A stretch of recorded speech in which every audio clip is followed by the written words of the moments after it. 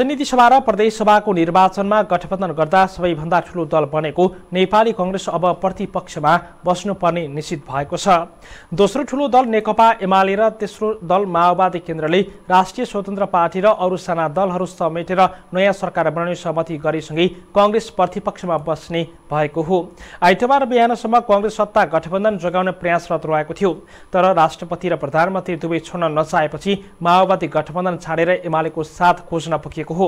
एमाले अध्यक्ष ओली निवास बालकोटमा आइतबार बसेको बैठकमा माओवादी केन्द्र राष्ट्रिय स्वतन्त्र पार्टी जनता समाजवादी पार्टी जनमत पार्टीका नेताहरू सहभागी भएका थिए। रापरपाका अध्यक्ष राजेन्द्र लिङ्गदेनले दलहरूको सामूहिक बैठक अघि एमाले अध्यक्ष ओलीसँग छुट्टै संवाद गर्नुभएको थियो।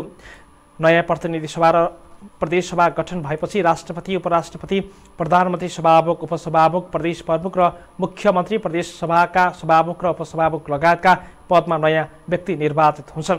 प्रतिनिधि सभा र प्रदेशसभामा बहुमत पुर्याउने गठबन्धनकै दलहरूले ती पद आपसमा भागबन्डा गर्नेछन्। गठबन्धन जोगाउन नसक्दा कङ्ग्रेसले ती कुनै पनि पद नपाउने स्थिति बनेको छ।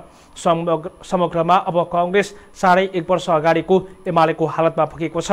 प्रतिनिधि सभाको सबैभन्दा ठुलो दल भए पनि प्रतिपक्षको भूमिकामा रहनुपर्ने बाध्यतामा कङ्ग्रेस पुगेको हो।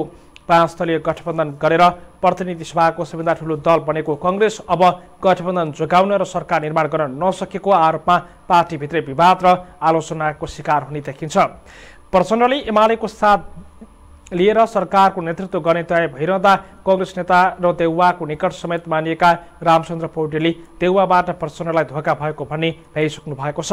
प्रचण्ड नेतृत्वको नयाँ सरकार गठनसँगै काङ्ग्रेसभित्रको विवाद थप पेचुलो बन्न सक्ने देखिन्छ।